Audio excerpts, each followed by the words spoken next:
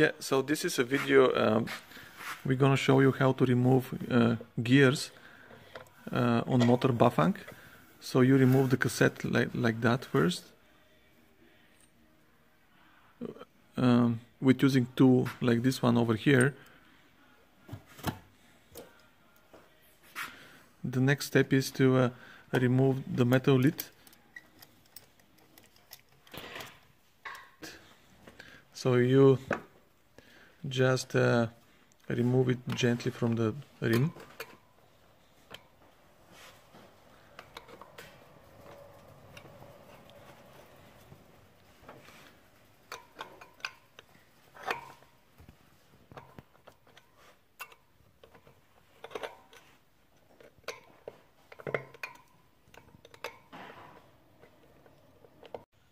Uh, the metal lid it works like that so there is a one magnet sensor which uh, helps to determine uh, uh the speed uh, of the uh, of the rotation of the motor.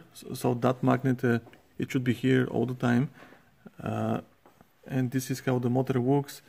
So it is like so for example this one is the pedal assist chip which helps to determine the, the speed.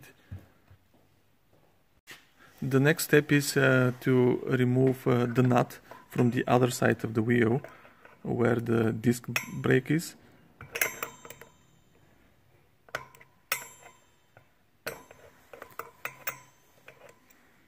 So you unscrew that one.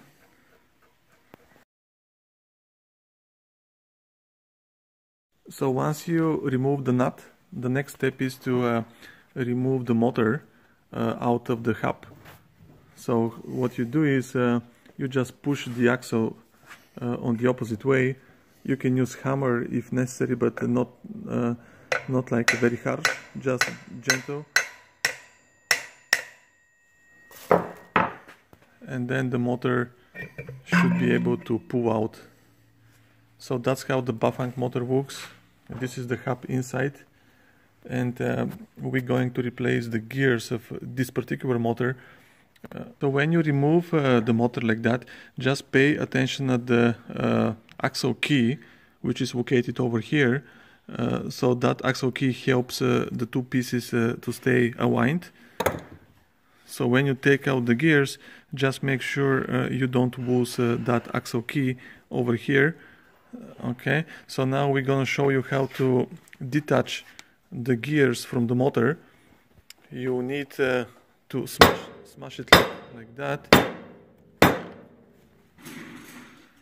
Until the gears got detached. Okay so this is the gears and this is uh, the motor and this is the axle key.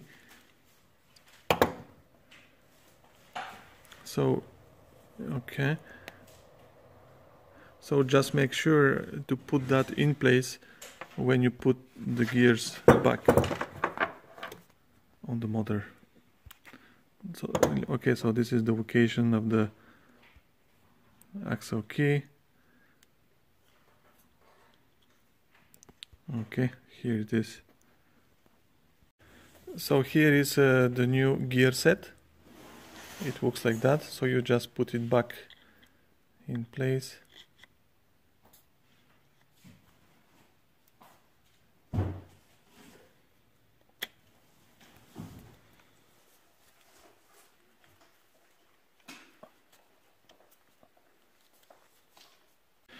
So you tap uh, the gears uh, gently until uh, until they they get all the way uh, inside the axle, and there is no there is no much gap over here. So you keep tapping until they go all the way in.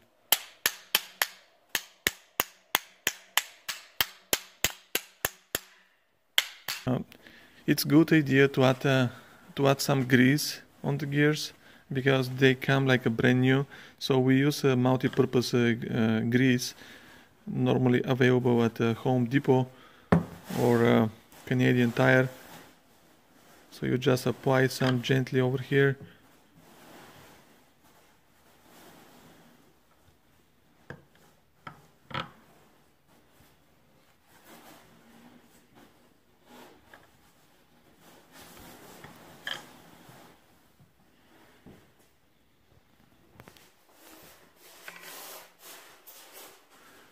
you can put also some uh, some inside uh, the hub.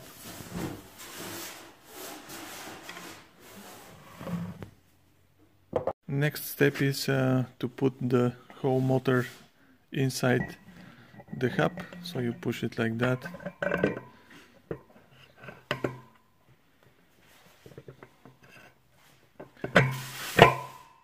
Okay so now it's all good so both sides are okay. So now you put the nut back in place.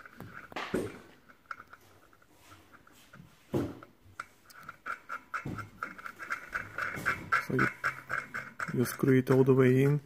It doesn't need to be very tight. Just like that it's it's more than enough. So this is uh, the metal lid. So you just put it back the same way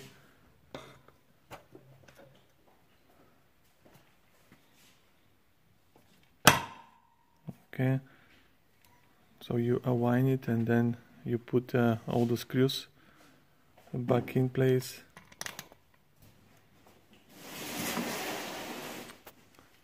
So when you put back uh, the cassette uh, just make sure uh, uh, to put that ring uh, back in place. So that ring stays between um, the cassette and the hub. So this is the cassette so you put it back in place.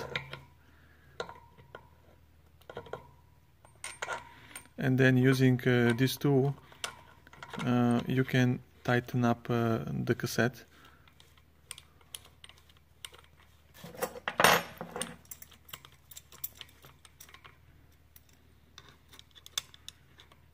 Okay so you tighten it up like that